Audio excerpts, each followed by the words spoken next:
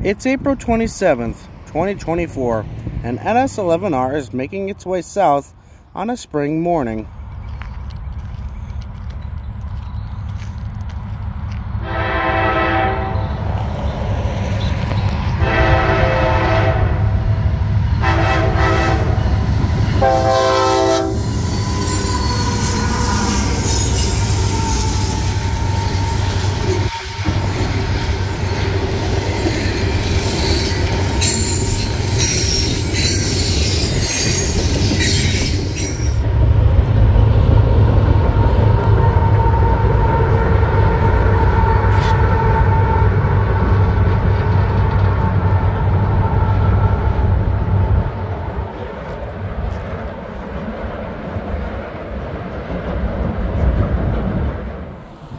The train was flying across the Harpursville trestle, but it would be crawling by the time it got to Allen Road here.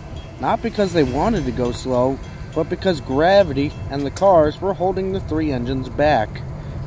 As the train was climbing the famous Belden Hill, which on the D&H is the D&H's version of Gordon's Hill, or the Lickey Incline.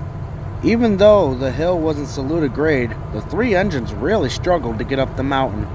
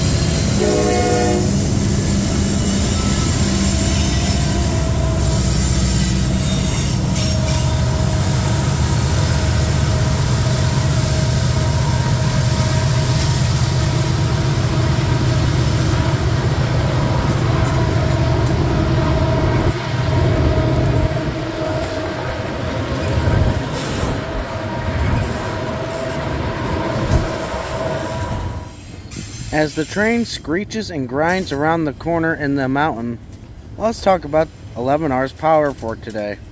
Leading the train is NSSD60E 6983.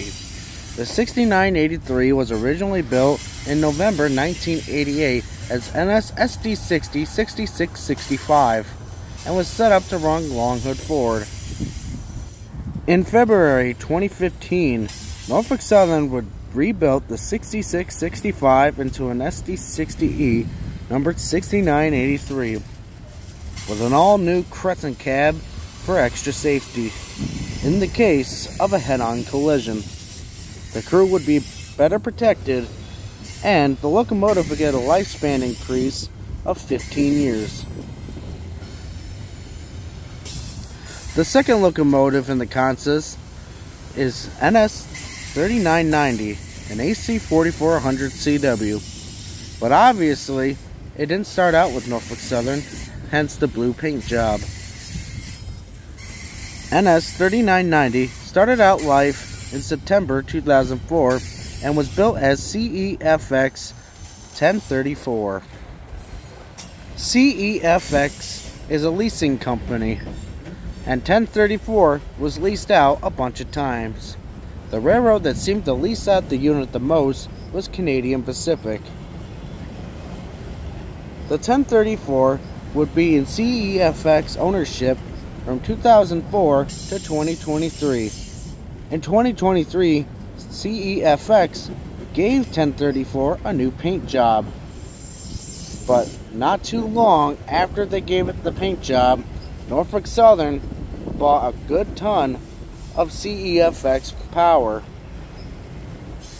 1034 wasn't the only one to be bought by Norfolk Southern, as many of its sisters were as well. Norfolk Southern plans on numbering these things from 3964 to 3999. As of the making of this video, 19 of the CEFX units are currently active, with many more to come.